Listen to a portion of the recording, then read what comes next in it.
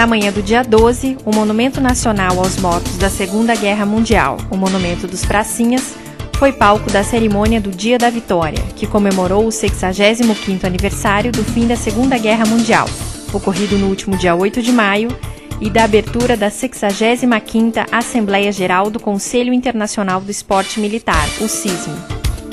Na presença de militares das três Forças Armadas, seus veteranos e convidados, foram lançados o hino do Ministério da Defesa e o selo comemorativo dos quintos Jogos Mundiais Militares.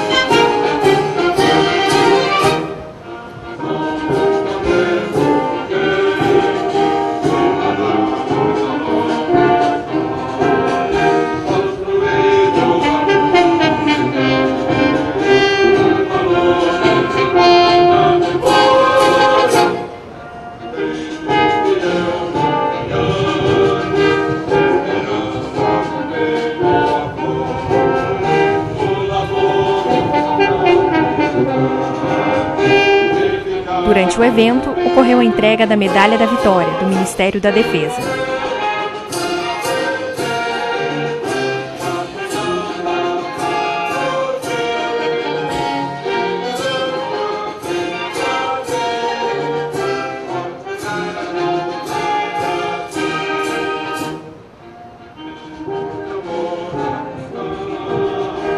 Em homenagem aos pracinhas e relembrando uma importante passagem de nossa história, foram realizadas a posição da coroa de flores no túmulo do soldado desconhecido e a exaltação à vitória.